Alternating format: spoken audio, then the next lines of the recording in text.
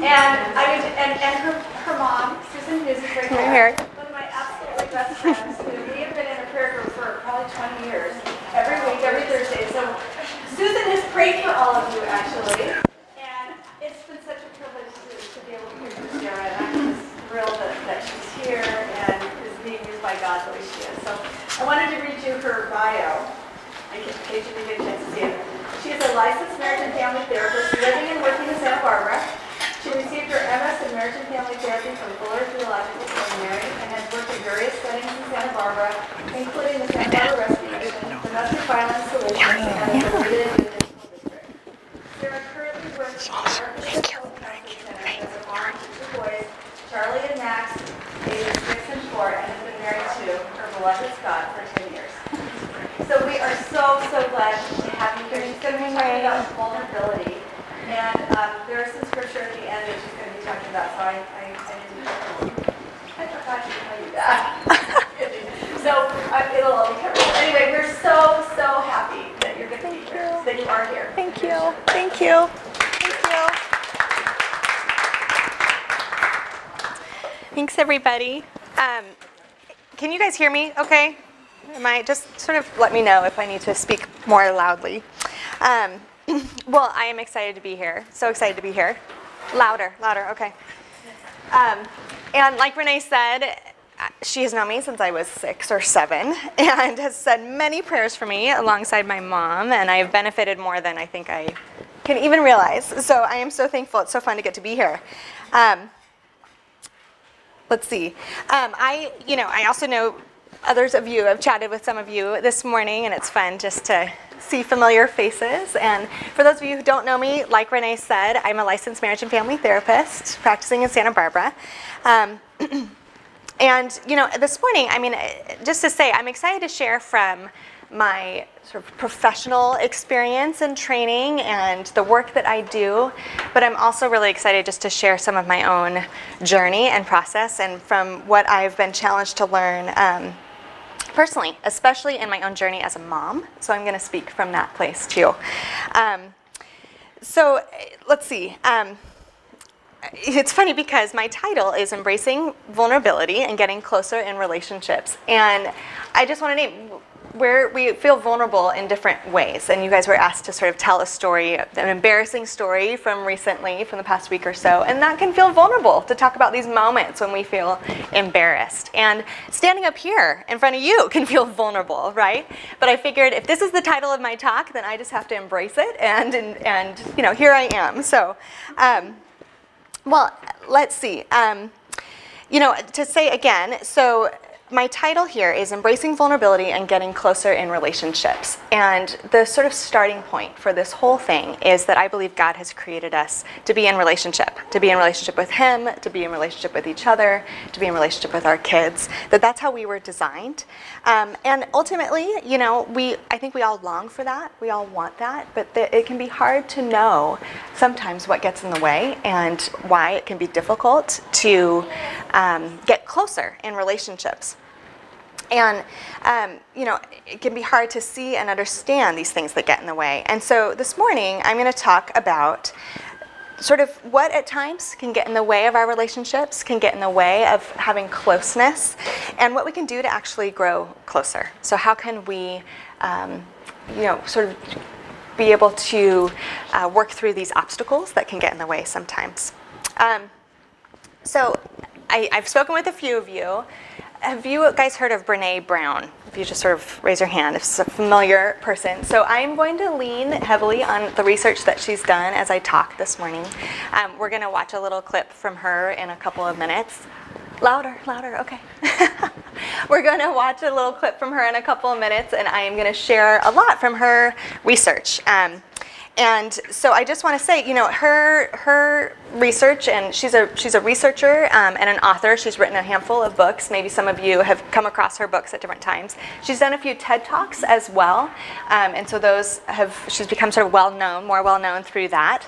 Um, and she's the research that she's she's done has centered on vulnerability, um, on shame, on courage, and worthiness. And so those are a lot of the things that, that I'm going to talk about this morning. And just to say, these, this work has been helpful in my, my own work with clients in the sort of professional part of my life, but also very much in my own process. So I'm going to speak from that too. Um, okay, so where to start? Um, maybe some of you can identify this with this. Once I became a mom, I began a very refining journey, the most refining journey I think that I've ever had in my life. Um, and I have been forced to look at my own self and my own stuff in a completely new way. Um, I imagine some of you can relate to that. So I'm going to start by telling you a story. It's an embarrassing story. Um, so this is my answer to our starting question. Um, although this happened a while ago for me. This was probably two years ago. And I have, like Renee said, I have two boys. They're now six and a half and four. So this was probably two years ago, and my oldest son was about four. And we were doing swim lessons. And, you know, we're all excited to go to swim lessons. This is the first time he's done this. And I've, I'm, we're in a setting where there's a pool in the, someone's backyard. And there are a couple other kids in the pool and other families around the outside of the pool. And my objective, my task at hand, is to get my four-year-old ready and in the pool, right? So I'm like, okay, buddy, here we go, and it's gonna be so fun, and da da da, you're gonna learn how to swim, blah blah blah. And he's having none of it. I mean, does not want to have anything to do with swim lessons, does not want to get in the pool. He starts yelling, he starts screaming, he starts throwing his shoes. I mean, literally, he's taking his shoes off and he's throwing them. And before I know it, he has run away from me, out the back of the house, out the gate, down the driveway, down the sidewalk. Like he's just, he's done, just gone and I am so embarrassed, right? Like I feel mortified in this moment. And like we said, you know, the stories that I asked you guys to, to think about and to share at your tables, there are these moments that we have that are just embarrassing, and that's a part of life. Um, but I want to share, in that moment, I want to share with you some of the thoughts that were going on in my head. And this is what we're going to talk a little bit more about today. So here are some of the thoughts. what are all these other parents thinking about me, right? Um, they must think that I'm a terrible mom. Oh my goodness. You know, I should be able to manage my kid better. Um, my friends' kids wouldn't do this. This is a big one for me. I usually come up with the so and so in my head, and I'm like, so and so sweet little girl would never do this, right? Um, things like I don't set enough limits for my kid. Somehow this must be me. This must be something wrong that I'm doing. I'm just, I, am not doing it well enough. I'm just not a good enough mom. So do you see how I went from an embarrassing moment to kind of walking through these pretty negative thoughts in my own mind and these negative beliefs about myself. And I got to this place.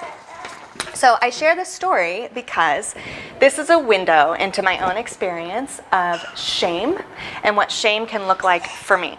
Um, you know, shame, again, we'll, we'll, get into a little bit more of what exactly shame is, um, but just to think about those areas where we feel a particular inadequacy in our lives.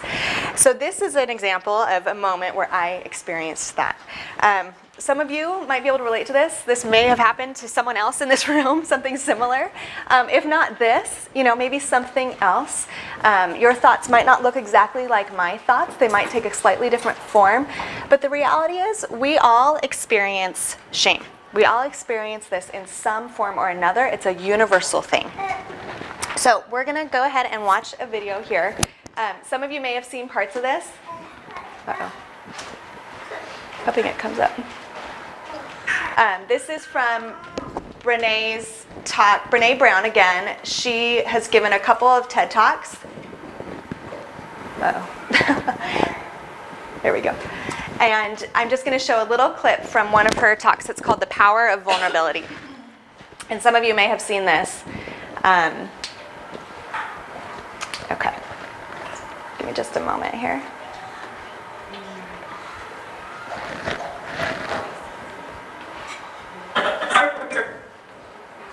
Um, and I'm going to talk to you today, we're talking about expanding perception. And so I want to talk to you and tell some stories about a piece of my research that fundamentally expanded my perception um, and really actually changed the way that I live and love and work and parent.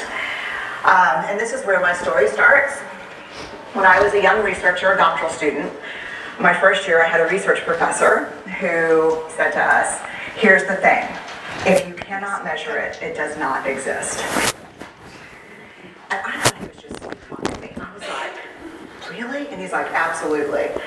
So you have to understand that I have a bachelor's in social work, a master's in social work, and I was doing my PhD in social work. that so my entire academic career was surrounded by people who kind of believed in the life's messy, love it, you know, and I'm more of the life's messy, clean it up, organize it, and put it into a bento box.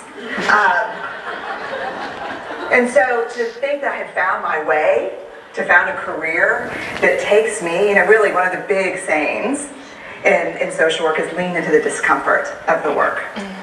And I'm like, you know, knock discomfort upside the head and move it over and get all A's. That's my, that was my mantra. So I was very excited about this. And so I thought, you know what? This is the career for me. Because I am interested in some messy topics, but I want to be able to make them not messy. I want to understand them. I want to hack into these things that I know are important and lay the code out for everyone to see. So where I started was with connection.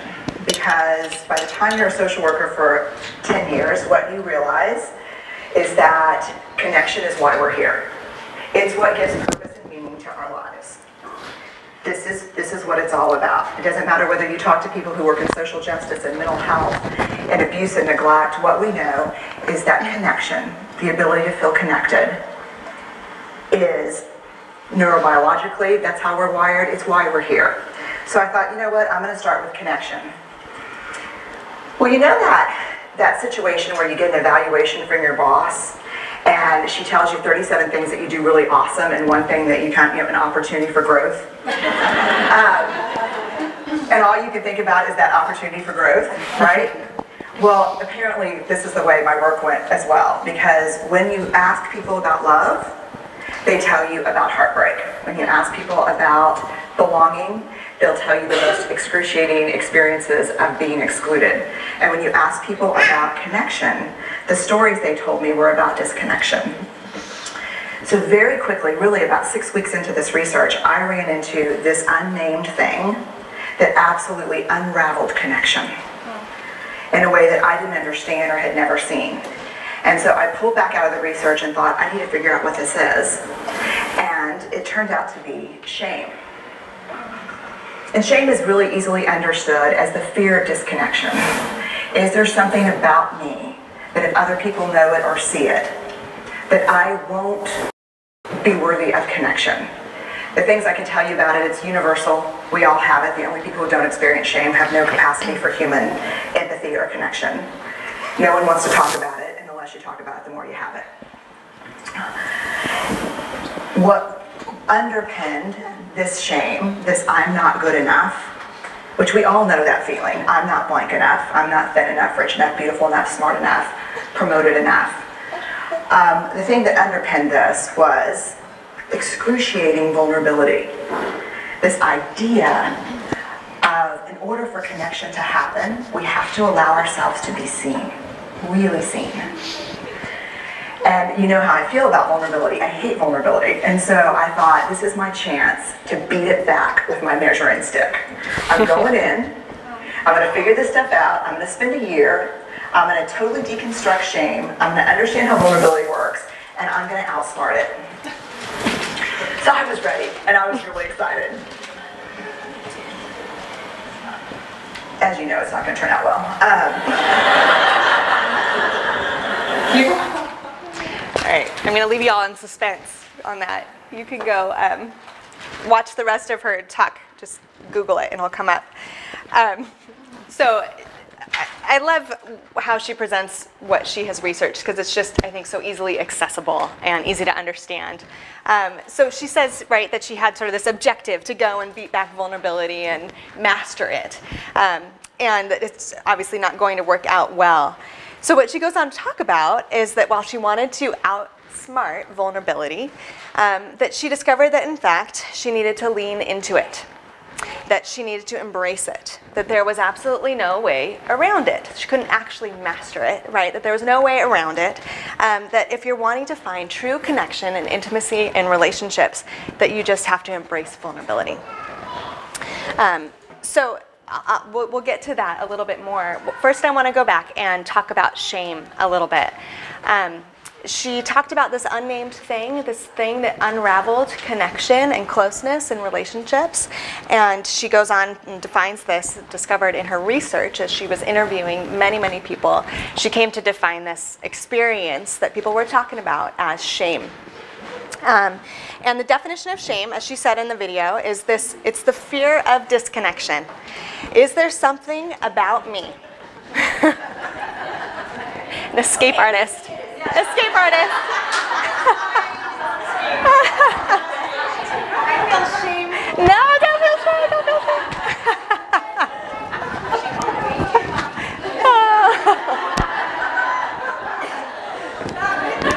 oh my gosh, that's great.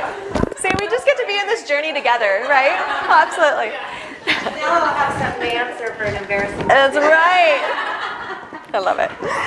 Keep updating them every day. That's right. We have new a new supply every day. Totally. Um, okay, so the definition of shame, and this is on the handout. There's a handout at the tables. I put it there at the top. Definition of shame is the fear of disconnection. So, is there something about me? Is there this other this thing that if other people know it or see it will somehow mean that I'm not worthy of love or connection? Um, and uh, you know, again, like I said at the beginning, it, it takes different forms for each of us, but I believe we all experience this in one way or another. Shame is that voice that says to us, "I'm not enough." She, Brene referenced this in her talk. So I'm not like like I shared with you. I'm not a good enough mom. That can be a little voice that I hear from time to time. I'm not good enough at my job. You know, I'm not a good enough friend, and whether that means I'm not social enough or sensitive enough, or, you know, we have these different things, these different fears that we have in our heads and these different messages. Um, the other thing that shame does is it tells us that we're alone. This is the, the unraveling part, the disconnecting part of shame. Instead of this moment where I have this little voice and then I think, oh, you know, I bet so and so also feels that way. Instead, we start to believe, oh, it's just me. I'm the only one who has this particular struggle. Um, so it tells us it's alone, that we're alone. In this way, it's disconnecting. Again, that that idea that so and so, you know, my friend, you know, Julie, doesn't experience this. She doesn't. She would never. This would never happen to her. Those sorts of thoughts and messages, and we can get lost in that, thinking that it's just us. Um, and this is one of the things that gets in the way of relationships. We talked about how we all actually long for connection and closeness, and there are these things that get in the way. And I think this particular message of shame is one of those things. Um, I just want to say quickly that you know there can be a question around shame and guilt and what's the difference, and sometimes that can be confusing. Um, so just to mention it. Um, guilt is the experience that we have, the emotional response that we have when we feel like we've done something wrong. And in that way, guilt is actually motivating. It propels us to try to seek forgiveness or to, to change something. You know, it's that idea of I said this thing and it was insensitive and it hurt her feelings. And now I'm going to go and I'm going to say, I'm so sorry. I apologize for that. So guilt is motivating, it's productive, it moves us forward. Shame, on the other hand, is this idea that not just that I've done something wrong, but that I, I am wrong that there's a particular part of me that's not the way that it's supposed to be. Um, and in that way, it's really paralyzing. It causes us to feel really stuck.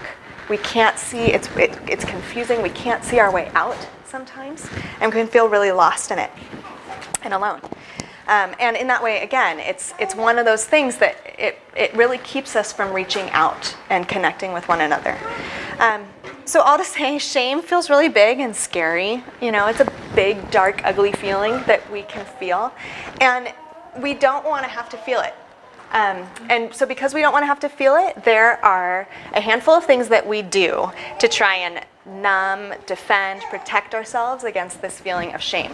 And I'm going to go through those. They're on the handout there. Um, the first numbers, one through four. These are just common things. And again, this is actually from um, a lot of the research that Brene Brown has done in her endless interviews with people. So this is research based. Um, these are just things that we do when we start to feel shame and we want to not feel it. We want to protect and defend ourselves against that feeling. So the first one we do is we control. Um, I totally do this. This is one of the things that really resonates for me. I don't know if anybody else, you know, I'll, I'll share more about it and you'll see if you connect with this too. Um, so I have a story to tell. I had a, a I'm a practicing therapist and I, was, I had a, a particular day at work that was overwhelming. I mean, it was just a hard day for a few different reasons. And at the end of the day, I was overwhelmed. I was feeling inadequate, certainly, in some of my skill and what I was able to do. And um, and I started having thoughts, you know, kind of like, I can't do this job. Why did I think that I would be able to do this job? Why did I, you know, why did I sign up for this kind of thing? And, but just feeling the inadequacy in it. And um, so I'm having those thoughts, and I'm driving home, and I come home, and I walk in the door, and my husband Scott is making dinner. Wonderful gift, right? He's making dinner.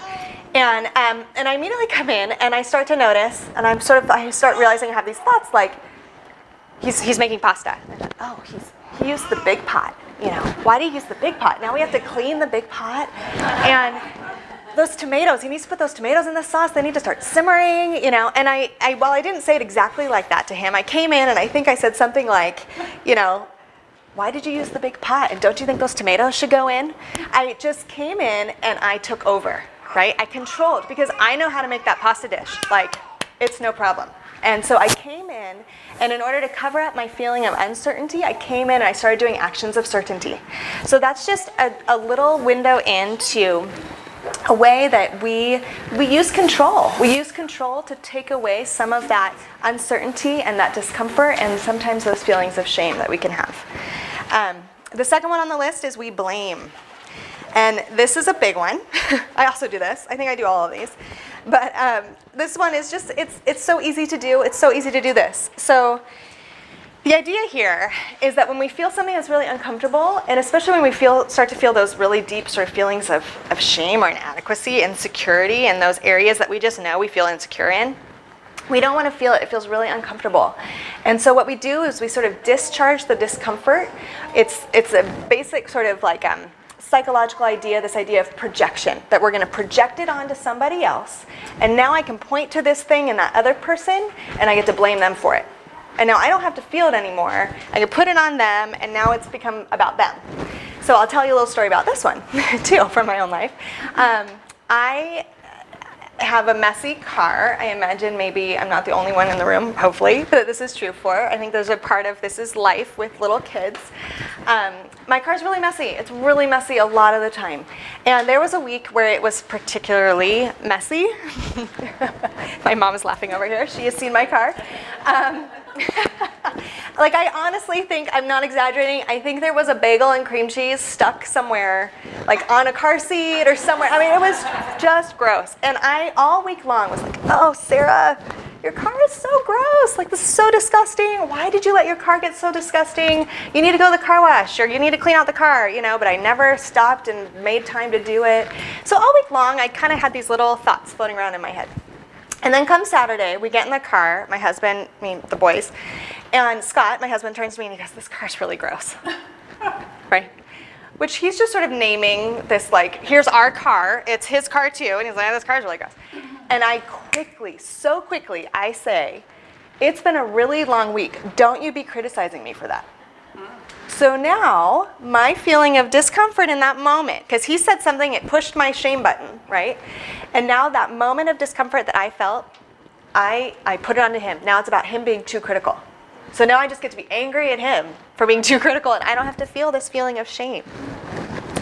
Um, so again, I think we can do this in, in different ways. We can do this with our kids too. You know, I think we can do, I'm, I'm sharing some examples with my husband, but there are lots of ways that we can do these things with our children as well. Um, the next one is we perfect.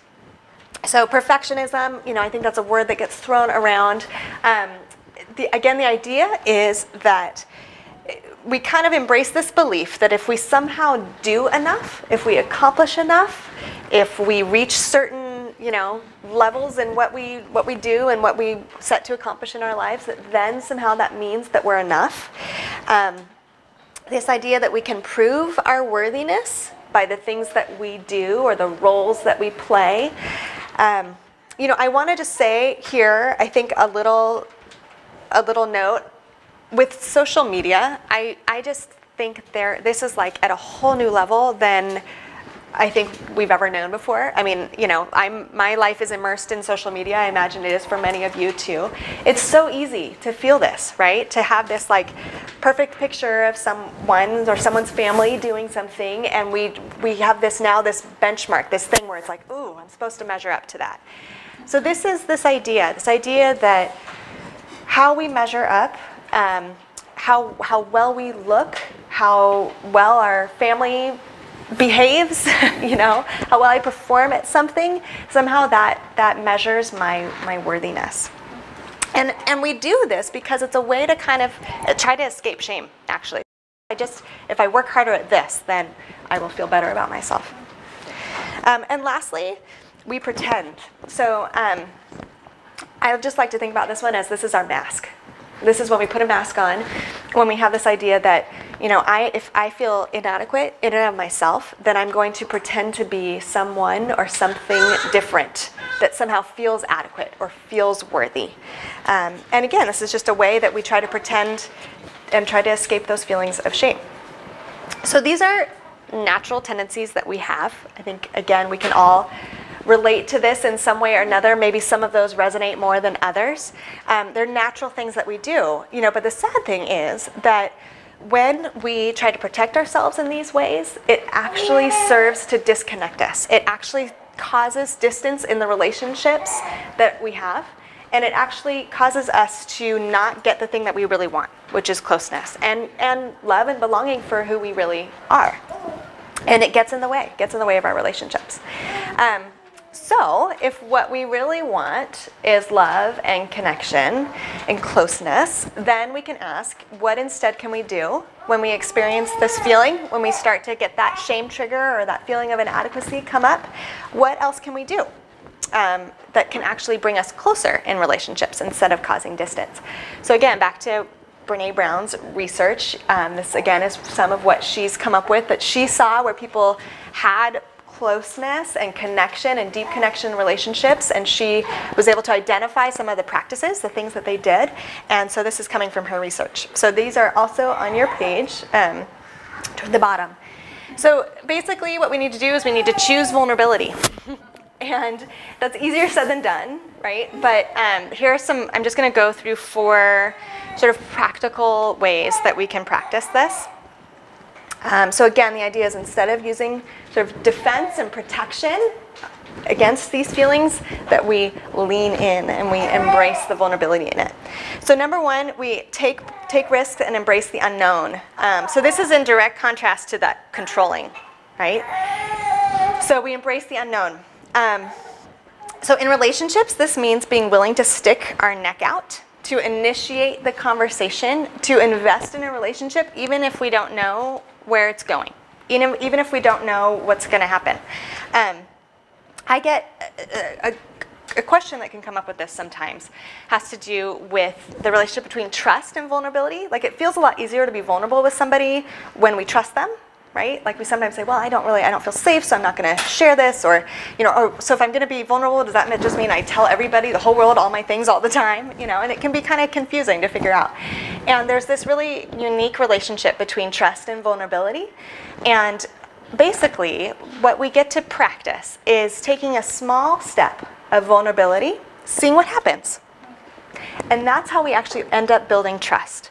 So while it feels like we need trust in order to be vulnerable, we actually need vulnerability in order to build trust. So we take little steps and we see what happens. We see how the other person responds. And then we say, okay, that felt, that felt good, that felt safe, I'll take another step. And this is how we build trust in relationships. Um, number two, we let ourselves be seen, really seen, and to be real in what we are feeling. So this just means on one level, sharing the embarrassing stories like you guys did at your tables. You know, being willing to say, oh my word, let me tell you what happened to me, you know, and just let it out. Um, you know, it also means being willing to say, this is something I'm really struggling with. You know, will you talk with me about it? Will you pray with me about it? Um, it means telling a story, perhaps, you know, of the past week or something in our past that was significant and letting somebody in to that particular part of our lives.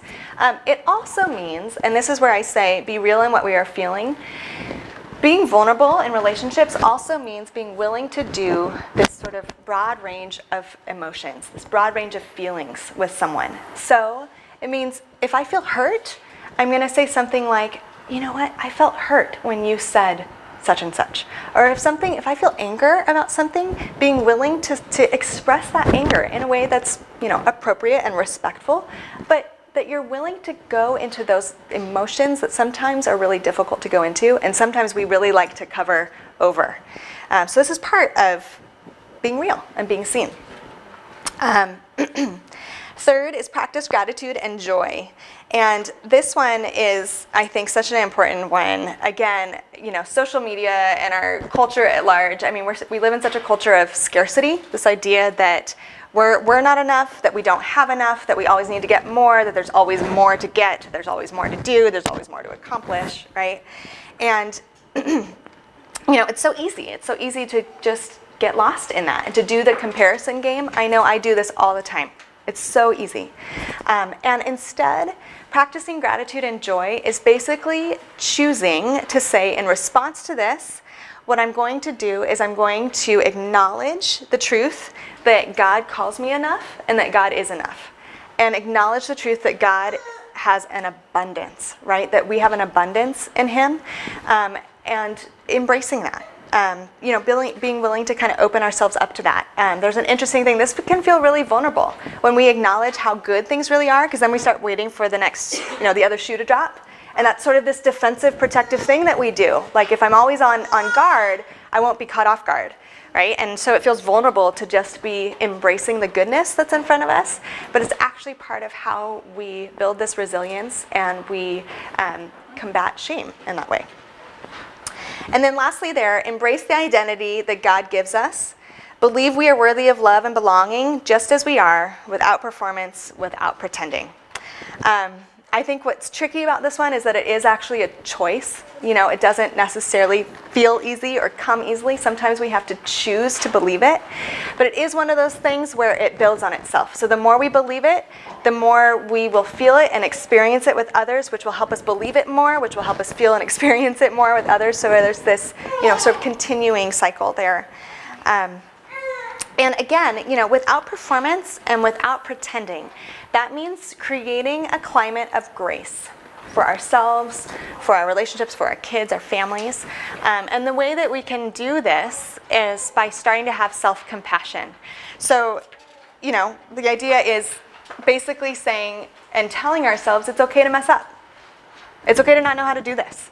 It's okay that my four year old is running, screaming, crying away from the swimming pool in front of all these other parents who clearly have it all together, you know? And it's okay. It's okay. It's okay for me to not know what to do in this moment. It's okay to muddle through. Um, you know, I was laughing today. I'm here I am, right? And it's like for me in this given moment, I could say something like, you know, even if I'm standing up here and I'm babbling on and nobody's connecting with anything I'm saying or I lose my train of thought or whatever it is, even in the midst of that, for me to feel like it's okay, Sarah, it's okay. It's okay to make mistakes. Um, that I can still hold on to the belief that I am worthy of love and belonging because He has called me so. Um, and so, in simple terms, this is basically the idea of letting go of what other people think and embracing this truth that we are enough in Him. Um, okay. So I've gone through that. Um, I think what I want to do now, just sort of to wrap up, is take you through on the back side is take you through a specific example. I think it's kind of one thing to think about all these ideas as concepts and big picture ideas, but it's another to try and really walk it through and figure out what does this actually mean in a given situation. Um, and so I'm going to go through, I'm going to use my messy car example where my bagel was stuck to the wherever it was. You know, my car was a disaster. And that moment when I blamed my husband because I was feeling shame. So I'm going to use that as my own example. As I go through this, if you can, I mean, just, it might be difficult to come up with a time. It might be easy to come up with a time. But if you can kind of remember, think about a time when you may have experienced something similar, some of you know what I've described as this feeling of inadequacy or shame, and and just to kind of try and think about that as I go through this example. So. Um, and, and again, what I'm doing here is I'm taking a specific example to try and give us really practical tools of how to do this in the moment. And what I'm sort of leaning on as I do this is um, a general concept of building mindfulness. So the idea there is that it's, again, sort of a therapeutic thought concept that we're just becoming more mindful of our own thoughts in the moment and our own body physical response in the moment. And those are ways that we can just gain awareness about what's going on for us. Um, and then also the, the cognitive piece. So, again, the thought piece to become more aware of what are the thoughts? What are the thoughts that I'm having in this moment? And how are those thoughts impacting my feelings and also my behaviors? So, um, number one, gain awareness. So, questions in the first moment when you maybe start to think, okay, there's something going on for me right now. There's something that I'm experiencing. I think I might be experiencing shame. And you can ask questions like, what's happening for me right now? What happened leading up to this? What am I feeling and how's my body responding? Um, so, for me, in this example with the car, I was feeling frustrated. I've been frustrated all week with myself. I was already feeling um, sort of shaming, shaming myself in it.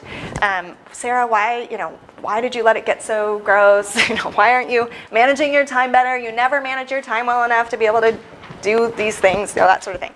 Um, so I'd already been walking myself through this path very well all week long.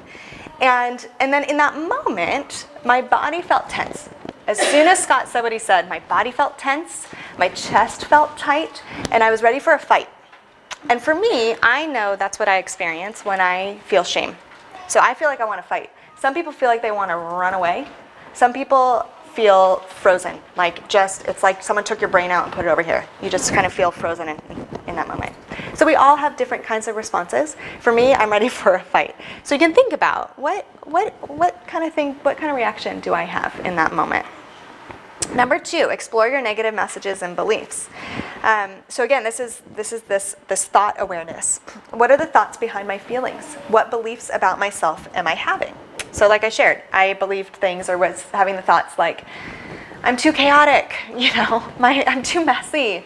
Um, so and so's car never looks like this, or whatever it is, right? But I kind of had these these thoughts and beliefs that I was having about myself, um, and ultimately, I think for me, I get to this place where I can think I'm just not I'm not good enough. I'm not good enough in this particular area. I think this is a common um, thought that we can have.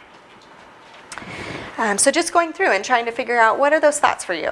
What are those those particular messages that feel most vulnerable and most um, just that you have most often in this area. Three, practice self compassion. So, the idea here is that when we feel shame, we want to hide it. We want to pretend like it's not there. We want to disconnect. We want to push, push people away. And we first need to respond to ourselves with compassion. It's almost like it's this part of ourself that's going to say, you know what, it's okay, tell me about it. And so we practice self compassion.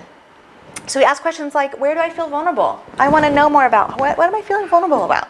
What am I feeling afraid of? What's scaring me right now? So in this moment, with I had this, I was afraid that I was going to be judged for this. Um, you know, I was trying to hide that there's this part of me that can be kind of messy and chaotic and out of sorts sometimes. Um, you know, I think we can often be afraid that somebody's going to push us away if they see this part of us. And um, so just to acknowledge that. And then what we do is we want to replace it with a message of grace. So again, there's this like self-compassion where it's like, okay, tell me about it. I want to I want to know more about what's going on for you. And then replace it with a message of grace. So instead of this fear that somebody's going to push me away or I'm not I'm not worthy enough, valuable enough because of this thing, we respond with a message like, it's okay to make mistakes. Right? I'm still valuable and worthy. Sarah, it's okay, you've had a crazy week. You know, of course the car's a mess. It's okay. These things happen. Um, and then, you know, the thing that I like is that in when once we do that, then we can actually move into growth and change. So the idea here, and I, I like to use this phrase a lot. I say it's it's your growing edge, Sarah. you know, how do you want to grow in this? Which is motivating right? Now I'm able to take action. Instead of feeling stuck and paralyzed in it and frozen by it, I now want to move toward change. What can you do about this? Maybe every other Thursday you want to clean out your car, you know, coming up with some practical solution where I feel empowered and able to make a change in my life. And lastly, we want to respond with vulnerability. Um, and this just comes back to, again, our goal and this thing that we long for is close relationship.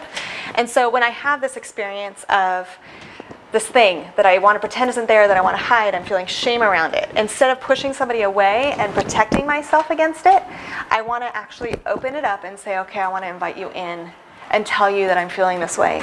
Because I think once I do that, I think we're going to get closer. And so you can ask ourselves, how can I talk about this in a way that actually invites the other person in? Um, that allows the other person to get closer to me. A phrase that I think is really helpful that I try to practice is saying something like, The story that I'm making up in my head is that.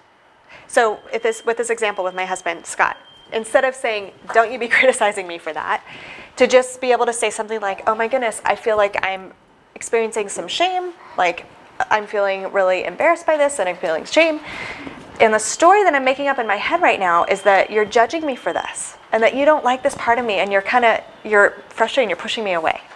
And what that does is instead of actually me pushing him away, is it opens me up so that he gets to respond to that. And that's risky. We don't know how the other person's going to respond, you know, but with those people who we know and love and are in our lives, right? It's this invitation where they now get to enter in in a way that they weren't able to do before. And in that moment, I eventually was able to get there with Scott and say something like that, you know, follow down the road, following up. And of course, he said, I wasn't thinking any of those things. I was just thinking we could go to the car wash, right? Imagine that, right?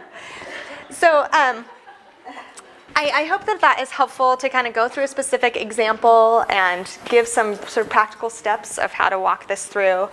Um, you know, my conclusion is that it this all takes courage. It takes tremendous courage, and there is certainly risk involved. But the benefit is that we get to build closeness and, and intimacy in our relationships. We don't have to feel like we have to hide something, we don't have to feel like we're not measuring up. Um, and I, you know, I just want to say too, I think what's amazing in this, I think, is that God empowers us to do this. You know, here's Brene Brown. She's a researcher. She's an author. Um, I've I've learned she is a Christian, but her research is not faith-based. You know. Um, and it's just research. She interviewed people from all different faith backgrounds or no faith, and this is this is the stuff she came up with. But what's amazing to me, and I think what's so striking and beautiful about this, is that it so fits and lines up with what God invites us into. Um, I think this is the gospel right, in our relationships, um, that he became vulnerable. He modeled that to us. He became as vulnerable as a baby. He drew near to us in the midst of our mess. He asks us to be vulnerable, to be on our knees before Him.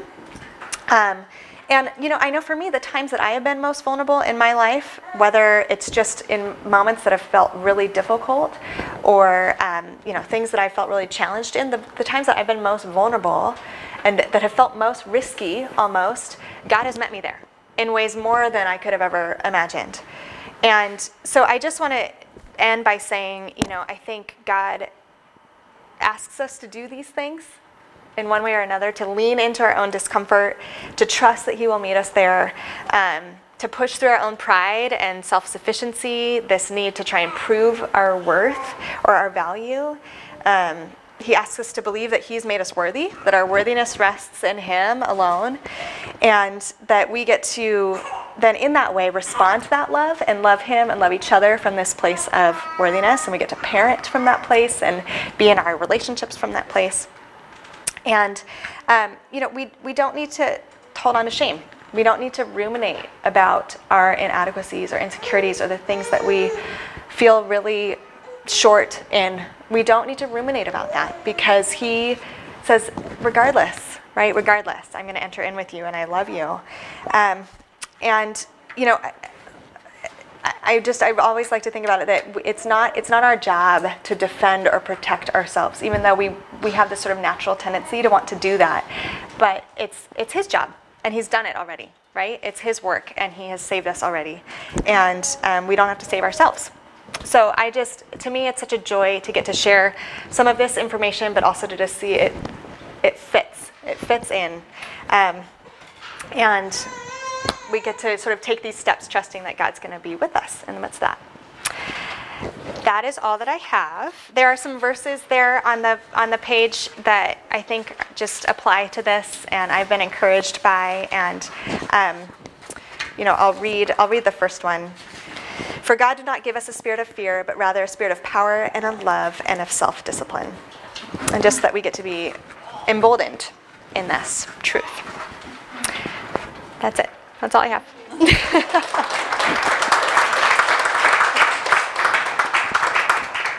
Awesome. Thank you yeah, you're welcome. So you're we welcome. have just about um, 15 minutes or so to have some take. Oh yeah, do you guys have questions? Yeah. Please, go ahead. Yeah, go ahead. It's like right where I'm living, so. Awesome. I'm right there with you. I'm wondering, I'm watching my five-year-old like struggle Yeah. with some of, like, now I'm like, oh, I have language for this. This. Yeah. How do you help children kind of think through this and talk about this? Absolutely. What language do you use with them? That's a great question. Um, and it's hard. I will say it's hard. And I think it's ever evolving, right? Because it's like once we figure out the thing with the one stage, then we're on to the next stage before we know it. So I'm always trying to ask that same question. Um, I think for me, what I try to do is model it. I mean, part a huge part of this is that we're modeling it, right? And so there are things that I will do, and and then I am so I have this moment of like I can't believe I just did that, right? Like here's a really this is a silly, silly, silly example, but. My four-year-old was like digging in our trash, in our kitchen trash. I don't even know why. He was looking for something that he had thrown in there, and I got really like oh my goodness, stop, don't do that. Because I knew there was like a raw chicken package in the bottom. Like the normal risk, whatever, I don't want my kid digging through. But I just had this really strong, for whatever reason, it was like my control thing. And it had this really strong reaction in that moment. And I overreacted. I totally overreacted to him. And then what I did is I came back and I said, I am so sorry. Mommy is so silly. I totally overreacted to that. So what I did was I modeled to him this grace that I had for myself. And I don't do this all the time. Like this is a difficult thing to do.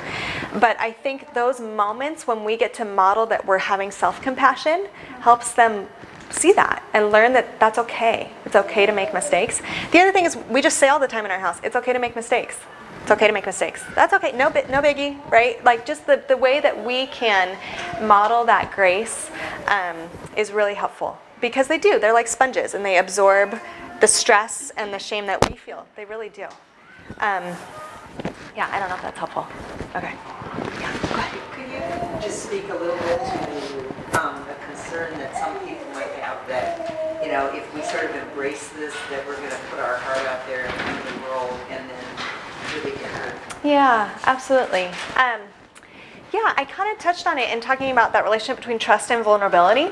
And I think there is, there can be sort of this misconception that, okay, if I'm going to embrace vulnerability, I'm just going to pour out my soul in front of everybody, you know. And, and there, there's an absolute need for discernment. Absolutely. Um, we need to feel safe in relationships, and there are some things that can happen in relationships that cause us to feel unsafe. So I am by no means dismissing that. Um, I think what we need, what, what we get to do is sort of take that little step, like I said, that we you take a step. If it's someone that's new and you don't know them, you get to sort of say, okay, I'm gonna I'm gonna see what happens when I give you this little this little part of me, this little vulnerable part, and I'm gonna see how you respond. And frankly, maybe there are going to be those times where it doesn't then feel safe after that experience, and I think that's okay, and that's discernment. And of course, there is room for forgiveness and you know process and all of that. Um, but I, I just want to say I think it's it's taking little steps. Actually, being like really vulnerable all of a sudden is is can be really difficult and hurtful. Yeah, yeah. So, um, like some people, like I'm very open, Yeah. and um, I think that it makes others uncomfortable. So, like it's an, I'm always trying to manage the discomfort of others. And that seems like it's a control thing. So, or how do you? Yeah. Like, like, I'm okay with it, but they're not okay with it. Yeah. They're like, "Ugh." You know, Yeah. it- It's, it's, but it, but it- for me to act, to be different and to like go backwards is to, or to, kind of retreat would be to be inauthentic to myself. Totally. So- Yeah. That's a great question.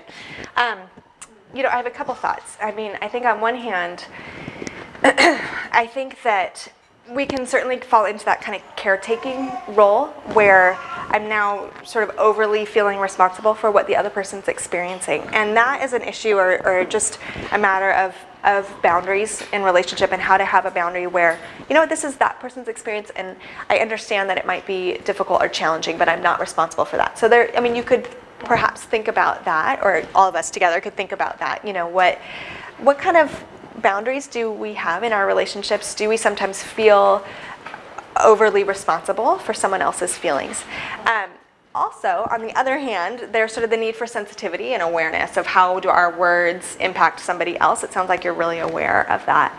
And I just think, you know, I think one of the things that I like to talk about in, in the work that I do is we can communicate, and sometimes we communicate in ways that aren't always effective in, in creating relationship. And so it's helpful to sometimes think about, am I saying something in a way that perhaps you know, I could say it in a different way that might be more easily accessible for somebody.